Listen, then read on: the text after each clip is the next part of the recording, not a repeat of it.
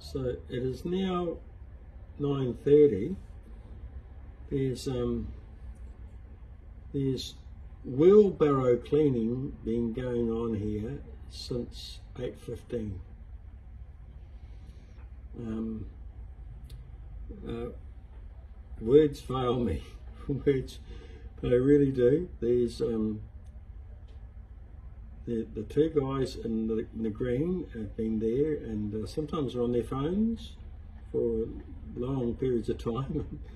And other times they're just sort of gazing into space.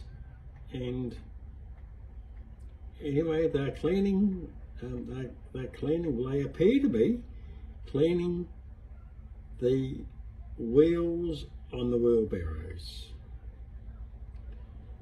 Um, what, what can I say? What really, you know, and this is where this is, and the, they're being supervised by the guy in the orange, um, and and perhaps this is an indication of the progress and the time taken and the efficiency of the workers here in Tauranga working on our roads.